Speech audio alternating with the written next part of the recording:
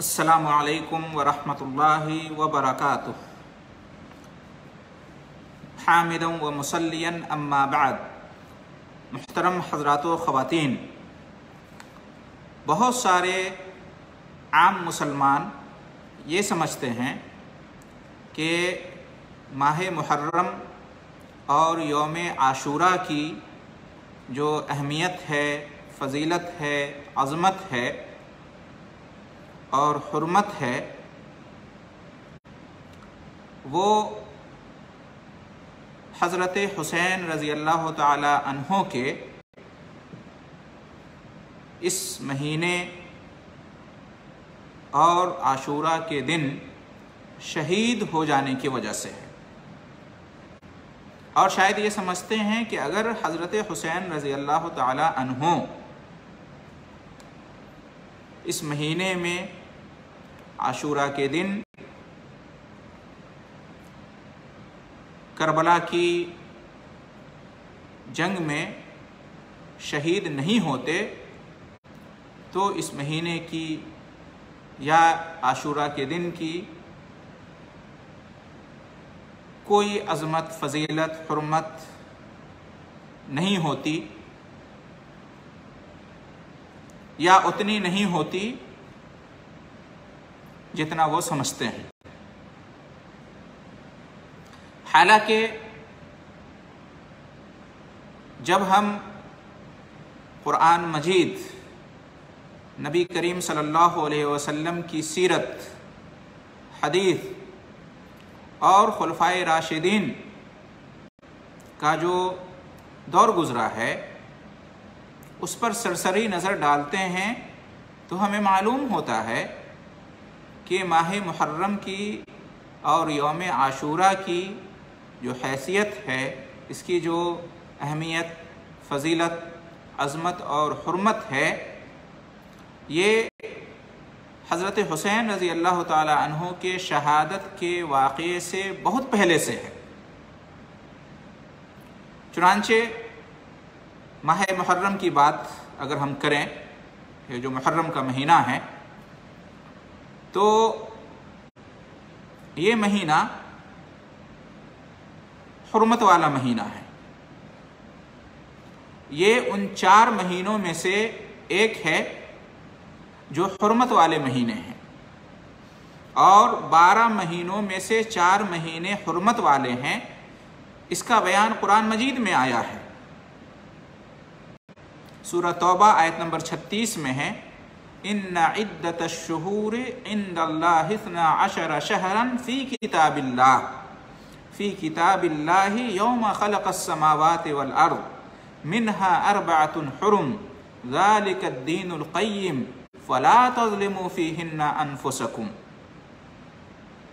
तर्जमा इसका यह है कि महीनों की गिनती अल्लाह के नज़दीक बारह है।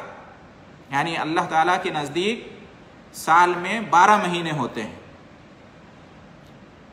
और ये बात कि साल के बारह महीने होंगे, अल्लाह की किताब में लिखी हुई है। लोहे महफूज में अल्लाह ने इसको लिख रखा है। जब अल्लाह ताला ने लोहे महफूज में हर बात को लिखा तो ये कब की बात है? आसमान और ज़मीन की तख्लीक से पचास हज़ार साल पहले की बात है। तो अल्लाह ने उसी वक्त जब सारी चीज़ें लिखी, अपनी किताब के अंदर, लोहे महफूज के अंदर तो इसको भी लिखा कि साल में बारह महीने होंगे।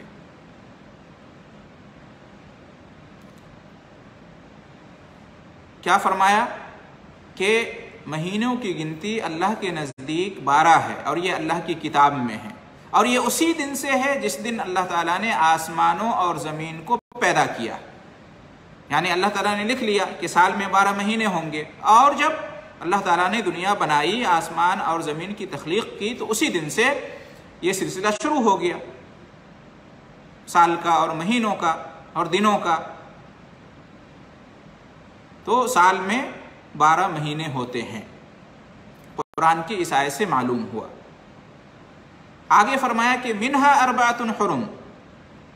इन बारह महीनों में से चार महीने हरमत वाले हैं।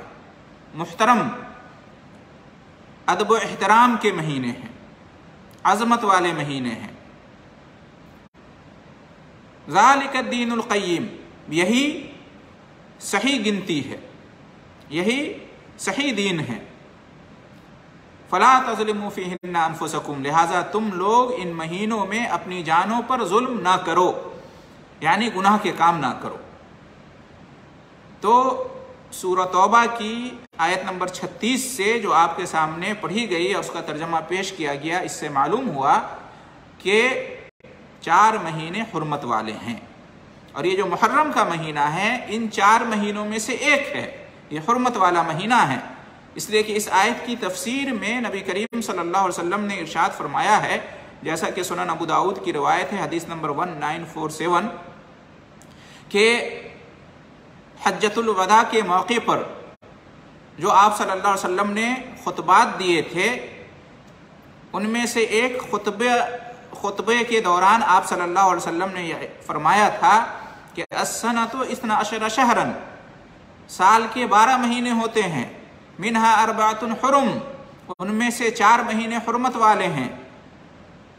सलासुम मुतवालियात, ये चार महीने हरमत वाले कौन से हैं?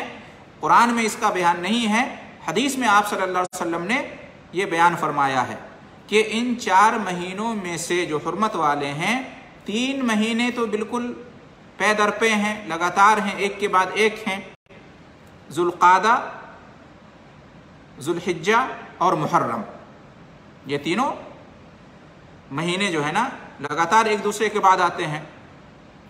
व रजब मुजर अल्लजी बैना जुमादा व शाबान। और चौथा महीना जो हरमत वाला है, वो रजब का महीना है, रजब मुजर, जो कि जुमादा और शाबान के दरमियान है।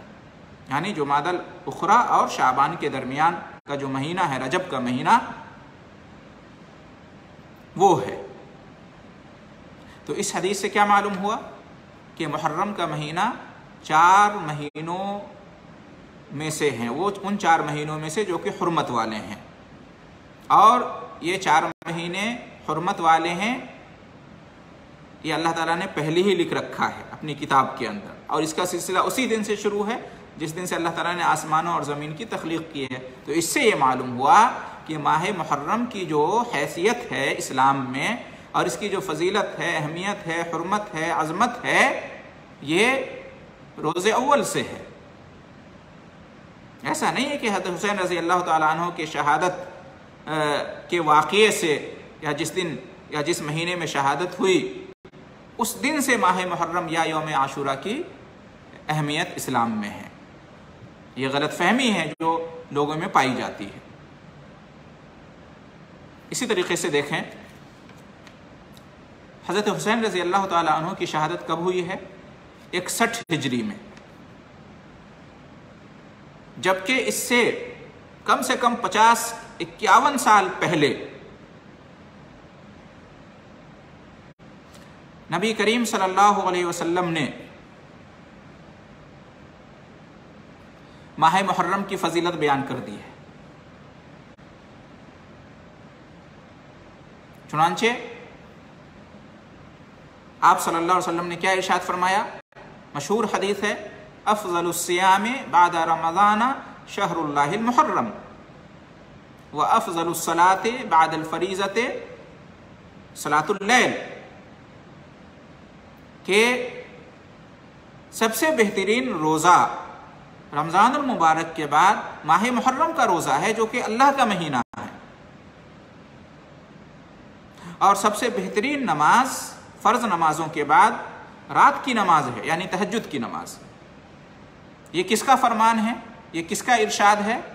प्यारे रसूल सल्लल्लाहु अलैहि वसल्लम का। आपने इसको कब बयान किया? ज़ाहिर सी बात है, आप वसल्लम ने अपनी ज़िंदगी में बयान किया और आपने ये जो है,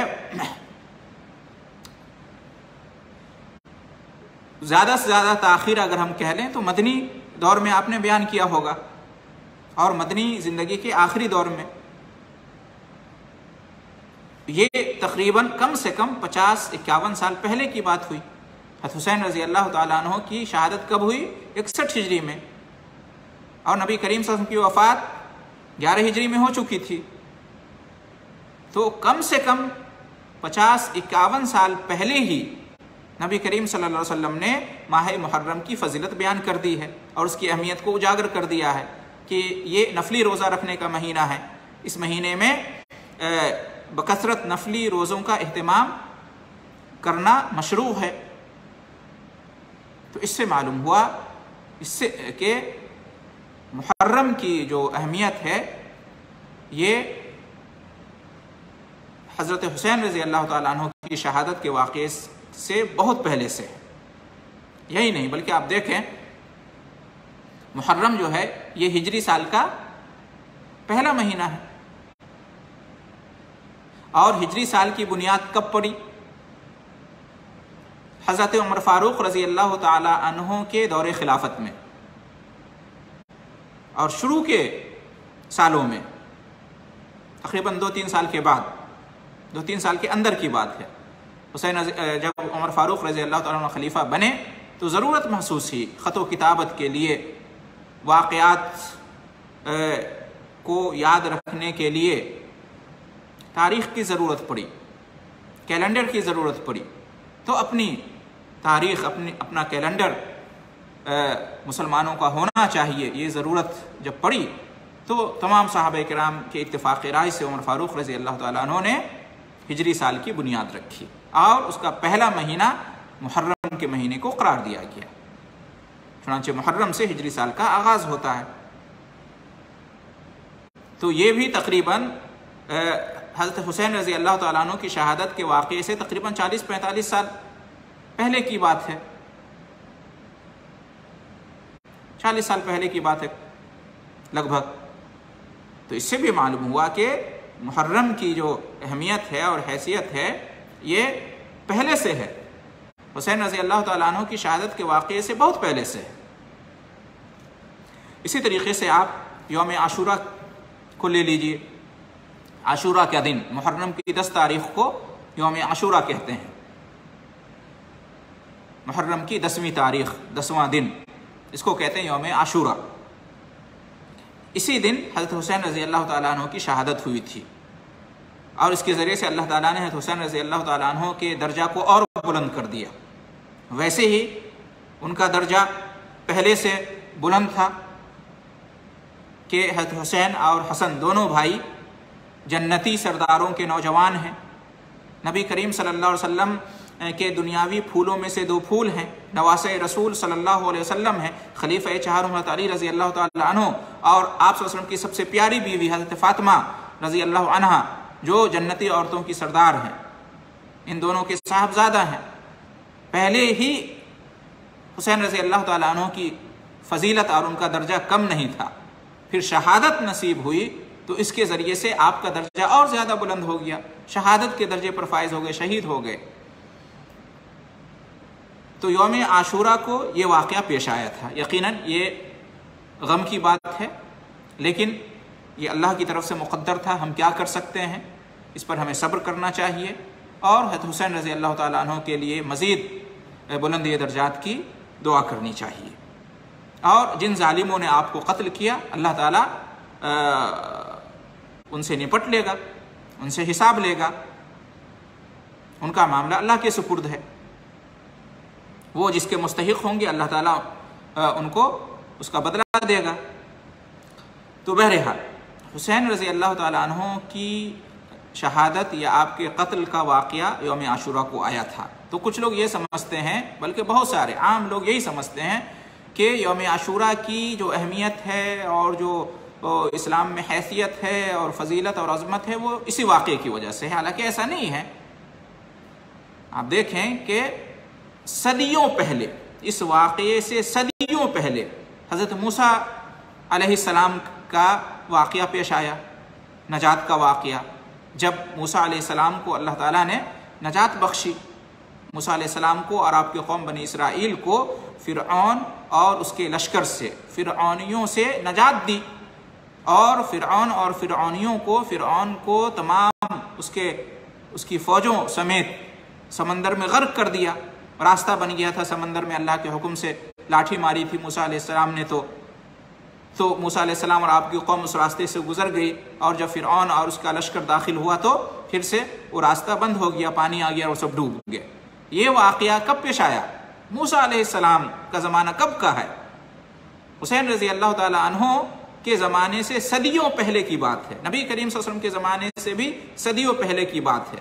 नबी करीम वसल्लम से छः सदी पहले तो ईसा सलाम का ज़माना है। उससे कहीं पहले मूसा सलाम का ज़माना है। ये वाक़ कब पेश आया था? योम आशूरा को, आशूरा के दिन, मुहर्रम की दस तारीख को।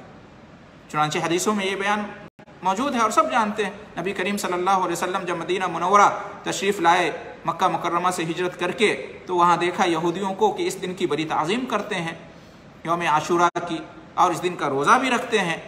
जब नबी करीम वसल्लम ने पूछा तो उन्होंने कहा कि ये वो दिन है जिस दिन अल्लाह ताला ने मूसा सलाम को नजात दी थी और फिर को गर्क कर दिया था।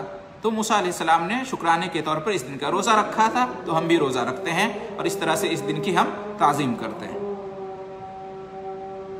तो इससे मालूम हुआ कि योम आशूरा की अहमियत और उसकी अजमत और ये कि ये रोज़ा रखने का दिन है और ये कि ये बड़ा तारीख़ी दिन है और इसकी एक अहमियत और अजमत ये है कि इस दिन मूसा को नजात दी, अल्लाह ताला ने फिर को गर्क कर दिया और इस, उसके शुक्राने में मूसा ने रोज़ा रखा।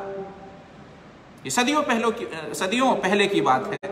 हुसैन रज़ी अल्लाह तहों से हज़ारों साल पहले की बात है।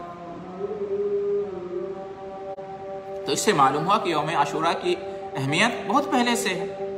और ख़ुद नबी करीम सल्लल्लाहु अलैहि वसल्लम ने भी योम आशूरा की फजीलत बयान की, इस दिन रोज़ा रखने के बारे में आपने फजीलत बयान की, अजर और सवाब बयान किया और कहा कि, सियाम योम आशूरा इन्नी अहतसबफ़िरसनतलती कबला सही मुस्लिम की रवायत है। अबू कतादा रज़ी अल्लाह तस हदीस के रावी हैं।